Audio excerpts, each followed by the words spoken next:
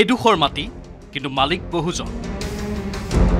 প্ৰবঞ্চনাৰে কোটি টকা আত্মসাত বুলবুলৰ। অৱশেষত দিছপুৰ আৰক্ষীৰ জালত প্ৰবঞ্চক বুলবুল। আপুনি দেখা এইজনেই মহাপ্ৰবঞ্চক বুলবুল শইকীয়া। দেখাত ভদ্ৰ যেন লগা এই বুলবুলৰ আছে বহু প্ৰতিভা। চলাহী কথাৰে মুহূৰ্ততে ঠগিব পাৰে যিকোনো লোকক। এনেদৰে প্ৰবঞ্চনাৰে বহু লোকৰ পৰা কোটি টকা আত্মসাত কৰি অৱশেষত দিছপুৰ থানাৰ আলহী হ'ল প্ৰবঞ্চক বুলবুল। এই বুলবুলৰেই জালত পৰিছিল এইজন চাহিল আহমেদ নামৰ যুৱক। বৰাগাঁৱৰ এডোখৰ মাটি বিক্ৰী কৰাৰ নামত চাহিলৰ পৰা বুলবুলে আদায় লৈছিল প্ৰায় চৈধ্য লাখ টকা। প্ৰতিদিনেই কথা সলোৱা বুলবুলৰ বিৰুদ্ধে ভুক্তভোগী চাহিল দিছপুৰ আৰক্ষীৰ কাষ চাপতি ওলাই পৰিল বুলবুলৰ চৰিত্ৰ।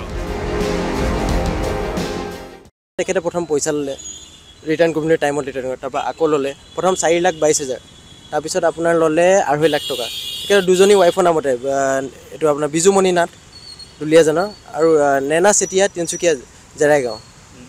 আপোনাৰ চাবুৱা যোনটো জেৰাইগাঁও এই তাৰপিছত চেককেইখন বাউন্স হ'ল তাৰ মই তেওঁক ধৰিবলৈ সি তেতিয়া আপোনাৰ মোক মাটিডোখৰ দেখালে মাটিডোখৰ পইচা নিলে সেইদিনত আৰু পইচা ল'লে পইচা লওঁতে লওঁতে থাৰ্টিন ছিক্সটি হ'ল তেৰ লাখ ষাঠি হাজাৰ টকা। যেতিয়া মাটিডোখৰত গৈছোঁ তাত আৰু তিনিটা চাৰিটা মানুহৰ লগত মানে আপোনাৰ এগ্ৰিমেণ্ট কৰা আছে ত্ৰিছ লাখ বিছ লাখ তেনেকৈ লৈ থৈছিলে।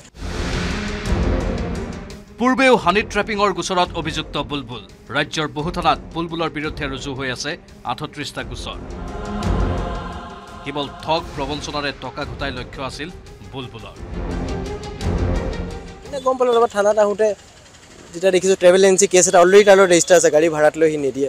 তেনেকৈ তাৰপিছত গম পাইছোঁ হানি ট্ৰেপিং বিভিন্ন ধৰণৰ ফ্ৰড সি কৰিছে। তেতিয়া আৰু মই এফ আই আৰ ৰেজিষ্টাৰ কৰিলোঁ। ন্যায়মতে গ'লোঁ মই গম পালোঁ পইচা লছ হ'ল মোৰ। এতিয়া যি হয় কোৰ্টে কৰিব।